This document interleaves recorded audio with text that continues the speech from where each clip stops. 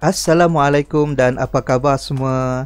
Okey, dalam video kali ini saya akan berkongsi kepada anda tentang bagaimanakah cara untuk menghasilkan lukisan berikut menggunakan arahan line, circle, offset, fillet dan juga mirror.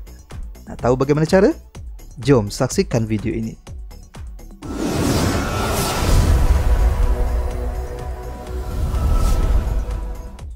Okey, so untuk kita uh, menghasilkan lukisan seperti ini, seperti saya maklumkan tadi, lukisan ini kita perlu lukis dengan menggunakan arahan line, circle, offset, fillet dan juga mirror.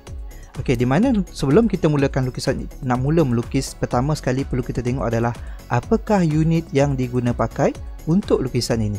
Okey, di mana unit yang diguna pakai untuk lukisan ini? Okey, pada soalan asalnya adalah menggunakan unit milimeter. Jadi untuk bermula saya kena kita kena buka dahulu fail baru. Okey new file. Okey di mana template yang kita guna pakai adalah template metric iaitu dengan pergi kepada open dekat sini ada uh, button nak panah kat bawah ni. Okey pilih open with no template metric atau kalau anda bagi anda yang dah biasa anda boleh guna terus template dekat sini dipanggil Arcade ISO. Okey, dua benda ni benda yang sama. Okey, saya ambil uh, untuk mudah saya ambil open with no template metric. Alright. Jadi untuk kita melukis lukisan ini, okey, uh, di mana saya perlu decide dahulu kawasan manakah yang perlu saya lukis. Kalau tengok lukisan ini, dia adalah simetri iaitu bahagian atas dengan bawah ini cuma reflect. Jadi kawasan ini kita akan buat gunakan mirror. Kita jangan buat kedua-dua bahagian sekaligus. Sebaliknya kita buat satu bahagian dahulu kemudian kita mirrorkan sahaja. Okay, dan kawasan yang perlu kita utamakan untuk kita mula melukis adalah cari kawasan yang paling mudah untuk kita lukis iaitu dekat uh, soalan ini saya ambil bahagian tengah dahulu sebagai starting untuk saya melukis. Jadi cara saya biasanya bila saya melukis adalah saya suka menggunakan dua garisan dahulu. Saya kena buat dua garisan dahulu. Saya line. Okay. Kita klik arahan line. Kemudian kita klik. Buat dua garisan yang uh, bersilang dahulu sebagai garisan rujukan untuk membantu kita melukis uh, bahagian-bahagian lain selepas ini. Okey, kemudian kita uh, buat bahagian tengah ini dulu. Di mana kawasan tengah ini dia bagi maklumat yang diberikan adalah dua bulatan iaitu satu bulatan kecil yang mempunyai uh, dia tak bagi dekat sini tapi dekat sini ada rujukan. Dia kata 3 kali diameter 10 bermaksud bulatan kecil ini ada 3 biji maka diameternya ada 10 uh, jadi bulatan kecil tengah ni diameternya ialah 10 kita ambil circle. Okay, seperti yang dibelajar yang kita pelajari dalam video, video sebelum ini berkaitan dengan circle. Circle ada banyak jenis. So untuk case ini kita akan ambil circle center diameter. So klik pada titik tengah ataupun persilangan garisan yang kita buat tadi. Garisan rujukan tadi eh. So klik kat situ. Di mana circle ini mempunyai diameter 10 masukkan nilai diameter 10 ok kalau kita lihat lukisan kita nampak kecil jangan risau ok scroll saja. Sebab mungkin uh, garisan yang kita buat tadi terlalu besar. It's ok tak ada masalah. Ok seterusnya kita nak dah siap bulatan diameter 10 kita buat bulatan yang mempunyai diameter 20 dekat sini. So klik circle. Ok circle. Center diameter juga. Diameter 20 so klik center sini. Diameternya adalah 20 ok kawasan tengah telah pun siap. Seterusnya kawasan yang senang lagi yang kita buat perlu buat adalah ha, bulatan kecil ni pula. Ha, saya nak buat bahagian atas dahulu. Yang bawah ni kita biarkan untuk reflection nanti untuk gunakan arahan mirror. Ok uh, so saya buat bulatan atas ni dulu. Bulatan atas ni mempunyai diameter yang sama diameter 10 dan arahnya jaraknya ke sini berapa ni? Dia bagi tak ok ada dia bagi kat sini. Ok dia bagi jaraknya ialah 25 ok walaupun dia bagi nilai kat bawah dia juga mempunyai nilai yang sama ke atas. Jadi kita nak senang kita copy lah. So kita gunakan arahan copy. Ok ini arahan copy. So uh, bila kita klik arahan copy pertama sekali dia minta select object. Jadi objek yang saya nak select adalah bulatan yang saya nak duplicate tadi. So, klik ke belakang ini, tekan button enter dan pilih titik tengah bulatan sebagai base point untuk kita copy. Klik kat situ. kita kemudian kita nak copy ke atas okay, nak copy ke atas ni kita boleh gunakan uh, kalau uh, dulu uh, video-video sebelum ini saya ada ajar tentang line adalah absolute, relative dan polar. Di sini kita juga boleh implement kaedah yang sama iaitu kita boleh gunakan simbol alias sebagai uh, rujukan untuk kita copy dia ke atas. Sama ada kalau anda nak gunakan kaedah polar, lebih mudah lagi kaedah polar iaitu kita masukkan nilai dekat sini ialah 25.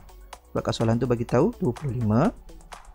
Okey dan kita letak simbol sudut ataupun boleh tekan button tab dekat sini.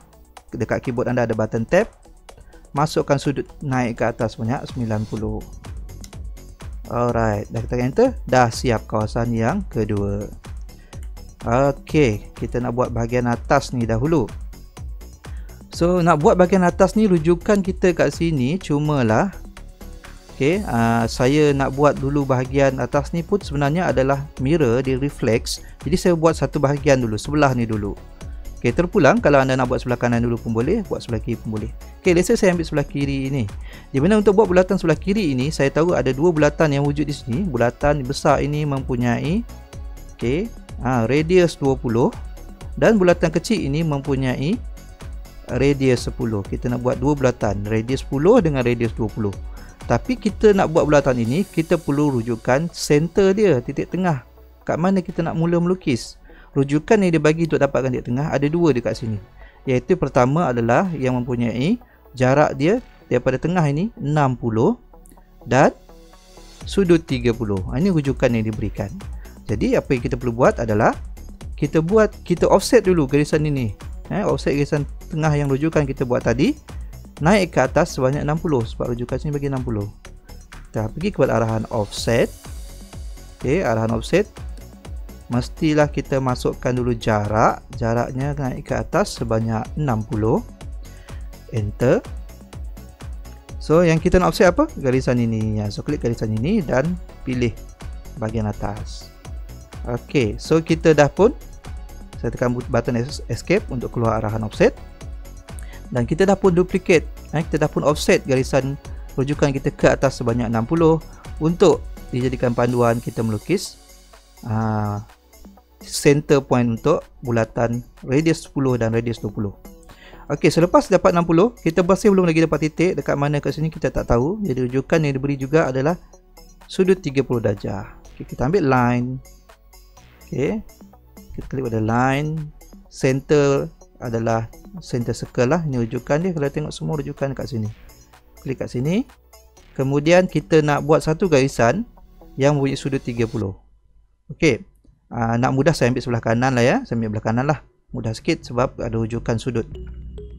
Ok kita nak buat aa, garisan bersudut 30 dekat sini Okay, kita uh, bila kita buat line ini dia akan ada keluar value berapa panjang. So kita tak fikirkan panjang sebab kes ini kita cuma nak dapatkan sudut. Jadi nilai panjang ni kita biarkan bebas. Yang kita nak adalah sudut. Jadi saya tekan button tab dekat keyboard tersebut untuk uh, skip value panjang. Okay, panjang garisan tekan button tab. Uh, jadi bila tekan button tab dia pergi pula ke value sudut. Uh, value sudut ni penting sikit sebab kita nak buat kaisan yang punya sudut. Sudut berapa? sudut 30 ok dari sini ke sini 30 tapi kalau dalam uh, kita belajar dalam matematik sudut putaran lengkap sini kosong darjah 90 180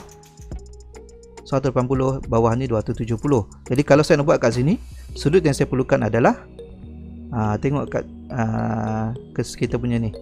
Uh, sudut kita perlukan adalah 60 uh, 30 ni daripada sini ke sini 30 tapi kalau daripada bawah ni demi kira uh, 90 tolak 30 jadi 60 jadi kita masukkan nilai sudut 60 tekan enter. Ok persilangan antara garisan yang wujud sudut 30 darjah ini dengan garisan uh, yang di offset sebanyak 60 ini adalah sebenarnya diguna pakai untuk dijadikan titik tengah bulatan radius 10 ni tadi. Ok radius 10 dengan bulatan radius 20 ni jadi kita buat bulatan sebabkan dia menggunakan radius R di sini. Kita ambil circle center radius dan ini adalah titik tengah rujukan kita nak buat bulatan radius 10. Okey dan ambil circle lagi set uh, radius 20. Okey, so kita dah pun buat bulatan sebelah kanan yang mempunyai radius 10 dan radius 20 dengan rujukan titik tengahnya adalah offset 60 tadi. Okey, offset 60 dan juga sudut 30. Biasa memang buat soalan ni biar dia takkan bagi kepada kepada setiap bahagian. Jadi kita kena analisis sikit. Sebabnya kalau nak bagi semua bahagian crowdedlah lukisan. Kedua dia nak menguji uh, kepekaan anda dengan value-value yang diberi dalam soalan. Okey, kita dah siap bahagian sebelah. Okey, disebabkan benda ni pun uh, adalah reflection ada ataupun dia adalah simetri. Jadi kita boleh uh, mirrorkan dia ke ke sebelah kanan. Okey, arahan mirror ini uh, kalau anda ada lihat video saya sebelum ni uh, berkaitan dengan copy dan mirror arahan mirror ini adalah untuk kita buat reflex. Kita nak copy so arahan mirror ini berada dekat sini lah. Ok so klik pada dulu arahan mirror. Ok mirror. Select objek. Objek kita nak mirror yang ni. Ok satu dua.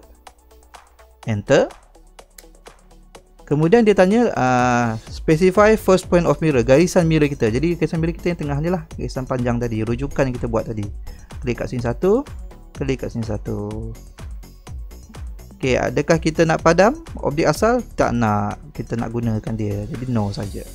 Okey, kita dah mirror kan. Kalau kita nak buat secara manual macam tadi, lambatlah. Jadi senangnya kita mirror. Ha, kita mirror macam ni senang sikit. Cepat proses kerja kita. Okey, kita dah siap bahagian yang uh, mempunyai radius 10 dan radius 20. Sekarang ni kita nak buat lengkung ini. Apa rujukan yang kita ada? Rujukan kita ada cumalah radius 30. Tapi radius 30 ni kita tidak tahu di manakah titik tengah kita nak buat bulatan ini. So ada dua kaedah yang boleh kita guna pakai. Pertama, kita gunakan uh, circle tantan radius ataupun saya lebih suka gunakan yang lebih mudah sikit iaitu menggunakan circle menggunakan fillet. Ha, fillet pun boleh. Okey, ha, fillet ini ada arahan untuk kita buat curve lah. Ha, buat curve pada dua garisan uh, yang bersentuhan. Jadi kita boleh kepada fillet. Ataupun kalau kata uh, nak jalan jauh boleh pakai circle tantan radius. Uh, tapi circle tantan radius ni pun tetap kita akan guna pakai sekejap lagi untuk bahagian yang lain. Uh, untuk bahagian ni saya kena gunakan uh, saya nak gunakan fillet. So klik pada fillet. Pertama sekali kita nak gunakan fillet ni kita kena check dahulu adakah fillet kita ada arahan trim atau tidak. So arahan trim dekat sini. Trim. Klik pada trim, tengok bila kita klik pada trim dia klik situ trim or no trim. Saya prefer kita gunakan no trim kerana kita tak nak dia potong uh, bulatan yang yang ada ni. Okey, kalau dia trim, kalau dalam mode trim dia akan potong garisan yang tidak uh, digunakan pakai. Jadi biar kita buat no trim supaya kita boleh uh, kita nak elak dia terpotong bahagian yang kita perlukan. So saya pilih no trim. Kemudian lepas kita pilih no trim, kita masukkan radius. So klik pada bawah ni ada arahan radius. So berapa radius fillet kita nak buat? Lengkung kita nak buat ni. Radiusnya adalah 30. Jadi saya masukkan nilai 30. Enter. Okey, alat di mana lengkung tersebut menyentuh bulatan pertama dan bulatan yang kedua. Ha, jadi selesai bahagian lengkung ini. Ha. Okey, bagaimana pula dengan kawasan ini? Boleh buat tak? Boleh, sama juga. Okey, cuma di sini dia tak bagi value. Ha, dia tak bagi nilai ni. Ha, kalau nak kira juga boleh, kita boleh tolaklah. Kalau ke tengah ini 50 bermaksud sini ialah 40. Okey, jadi boleh pakai fillet. Okey. Ataupun uh, satu lagi cara mudah, kita boleh gunakan circle juga tan-tan radius. Okey, saya gunakan uh, saya ambil fillet lah, senang sikit eh. Saya klik pada fillet. Disebabkan kita dah buat setting trim tadi tak, tak perlulah kita tengok kat trim ni Kita perlu buat radius saja. So klik pada radius Di mana radius sini adalah uh, 40 ha? Sini 50, sini 40 Jadi kita masukkan value dia 40 Fillet dengan bulatan kecil di dalam Dengan bulatan kecil di luar Ok, settle bahagian yang di sini Ok, bagaimana pula dengan ni? Boleh pakai fillet ke? Okey, bahagian ini kita tak boleh buat fillet. Ha, kenapa? Sebab fillet ini untuk buat kawasan yang uh, cengkung macam ini. Tapi bila berada kat sini dia dah jadi cembung. Ha, cembung tak boleh pakai fillet. Okey. uh, filler tak boleh pakai kat cembung ni kita cuba uh, radius di sini ialah 60 Ha, dia jadi macam tu kalau pakai fillet. Ha, dia akan buat cengkung. Ha, itu sebabnya dalam kes seperti ini tidak sesuai gunakan fillet. Maka yang kita sesuai gunakan apa?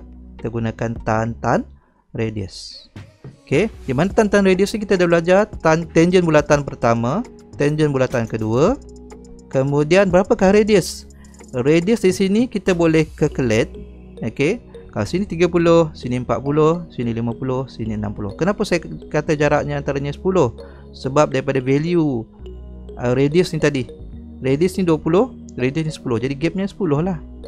Ha, daripada sini ke titik tengah pula, radiusnya adalah 10. Jadi jaraknya 10. Itu sebab kenapa setiap bahagian ni jarak, beza jaraknya ialah 10. Okey, so kita gunakan tanda radius lagi sekali sebabkan saya dah ter uh, masih lagi masih teori. So radius di sini adalah 60 eh. Sini 50, jadi sini 60. Jadi kita masukkan radiusnya 60. Enter. Ah, ha, boleh nampak dia tangent dekat situ.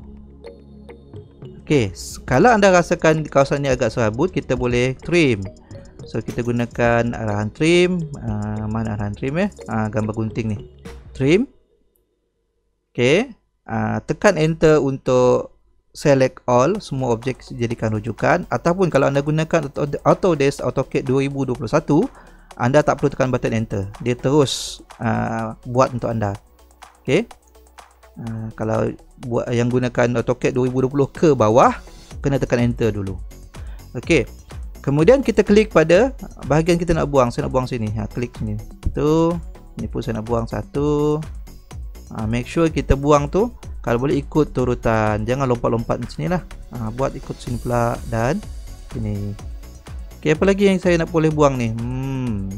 ok bulatan besar ni saya tak nak kacau dulu. Saya nak buang uh, yang kecil ni dulu. Ok alright. Ha, dah nampak sikit hasil. Bulatan besar ni kita tak boleh buang lagi. Sebab apa? Ha, di sini boleh buang lah. Tapi di sini kita perlukan rujukan. Jadi saya buang ni dululah ini boleh buang. Ini boleh buang. Okey. Ha, jangan lompat macam ni eh nanti kawasan ni susah nak buang. Kita nak kena delete pula. Jadi senangnya kalau kita potong sini ha, terus follow dia punya laluan ya.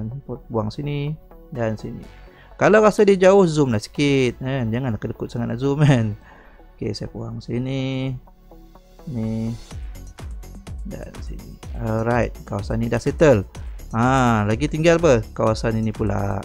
So kawasan ini, kawasan di sini kita perlukan garisan dan juga ada bulatan yang mempunyai radius 25 ha, macam mana nak buat bulatan radius 25 ni?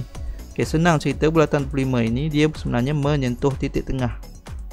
Ha, sebenarnya kalau disambung dia menyentuh titik tengah. Jadi bila menyentuh titik tengah bermaksud jarak daripada garisan rujukan yang uh, melintang ini ke atas ialah 25 ha, jadi saya pakai offset. Klik pada arahan offset. Masukkan value 25 enter. Saya offset garisan ni ke atas ha, sebenarnya sama dengan center bulatan kecil ni kemudian kita buat satu circle yang mempunyai center radiusnya adalah 25 ok tekan enter ha, ok so bulatan besar 20, radius 25 ni sebagai rujukan untuk kita buat garisan tangent dekat sini ok Okey, kita nak buat garisan tangent tu. Bagaimana garisan tangent ni? Ha, kita klik pada line. Tekan button control pada keyboard anda. Tekan jangan lepas. Kemudian tekan mouse button sebelah kanan. Bukan mouse button sebelah kiri ya. Button sebelah kanan pada mouse tu. Klik kanan. Maka kita akan dapat temporary object snap di sini yang akan membantu kita pilih uh, tangent. Kita tak nak main klik saja, kita perlu gunakan tangent. Okey, dah dah klik tangent, button control kita boleh lepas. Kemudian kita pilih point ni sebagai point untuk kita buat object snap tangent. Okey, sekarang di bagusnya object snap tangent ni dia dah akan calculate untuk kita buat di manakah point yang sesuai untuk dia buat tangent. Ha, okey, saya nak buat dekat sini pula. Jangan main klik. Kalau klik hasilnya tidak betul, sama juga kita ulangi langkah yang sama, kita tekan control, mouse button kanan pilih tangent. Okey, kemudian kita pilih bulatan radius 25 ni tadi. Okay, maka dia snap dekat situ. Ha, ni saya ulangi langkah yang sama. Control. Mouse button sebelah kanan. Tangent. Okay, bila kita dah keluarkan uh, object snap tadi, control, mouse button sebelah kanan ni, dia keluar macam ni, kita boleh lepas je uh, button key dekat control tu. Lepas. Kemudian kita pilih tangent di sini. Ha, jadi dia dah tangent siap dekat sini. Okay, so kita kemas settlekan bahagian atas sebelum kita mirror ke bawah. So kita trim dulu, trim. Okay, di mana saya trim uh, kawasan ini tak perlu. Sini tak perlu. Okay, di sini pun kita boleh trim. Kemudian sini pun kita boleh trim.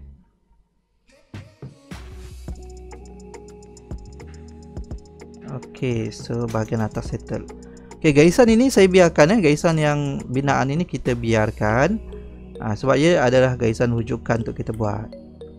Ha, kita biarkan dulu. Nanti bila kita masuk topik layer, anda akan nampak keperluan garisan ni lah. Tapi bila dah siap nanti nak buang dulu pun boleh. Okey. Okey, sekarang ni bahagian atas kalau tengok bahagian atas ni dah siap. Kita nak buat pula, kita nak mirror dia ke bawah. Ha, ingat kalau kita buat soalan yang melibatkan mirror macam ni, kalau boleh settle dulu semua trim-trim yang ada atas ni sebelum kita mirror kat bawah. Sebab kita tak nak bila kita dah mirror, kita kena trim lagi atas dan bawah. Jadi banyak kerja, berulang kali kerja kita. Okey, jadi ada ha, saya, saya tengok sini semua saya dah settle untuk saya mirror. Baru kita tekan arahan mirror. Select object. So klik pada setiap objek yang kita nak mirror ke bawah. Okey. Lalu masuklah bulatan kecil ini. Ha, klik. Okey, asal ada lagi tak yang kita nak mirror? Asal ha, ni cukup kan. Kemudian tekan enter. Dia akan minta line untuk mirror ini rujukan line kita. Klik satu, klik sini dua. Alright. No kita sini eh erase uh, source object no. Jadi settle untuk bahagian bawah. Dan ada lagi bahagian yang belum iaitu bulatan yang lengkung yang punya radius 50 so kita gunakan apa nak gunakan apa gunakan fillet. Ha, fillet senang sikit. So klik pada fillet. Ok sebabkan kita dah gunakan uh, arahan fillet tadi tak perlu setting trim dah. Just setting radius saja. Klik pada radius. Berapa radius fillet ni? 50 so kita masukkan nilai 50 enter. Klik pada garisan ni. Klik pada garisan ni. Ok nak mirror boleh ke? Bo boleh tapi saya prefer anda buat fillet kerana dia akan tangent. Kalau mirror ni dia sebenarnya dia tak ikut syarat tangent kat sini. Jadi lebih sesuai kita ulangi langkah fillet saja. Ok disebabkan saya dah masukkan uh, saya nak buat fillet yang punya radius yang sama. So di sini kita boleh buat dengan klik radius masuk ke 50 ataupun kita boleh guna pakai terus. Sebab settingnya dah default 50 yang kita buat tadi ok so siaplah untuk lukis bahagian ini. Ha, dah confirm dah tak ada apa keperluan. Ha, barulah kita boleh uh, sama ada kita masukkan dimension nak masukkan layer ataupun kita nak padam garisan yang ada ni pun boleh. So harap uh, diharapkan uh, penerangan saya step by step ini dapat membantu anda faham bagaimanakah cara untuk kita melukis lukisan ini yang menggunakan arah line, circle, offset, fillet, trim dan juga mirror yang uh, boleh membantu anda untuk faham sekiranya diberi bentuk-bentuk yang berbeza. Semoga ianya membantu anda. Kita jumpa lagi dalam video yang akan datang. Assalamualaikum warahmatullahi wabarakatuh.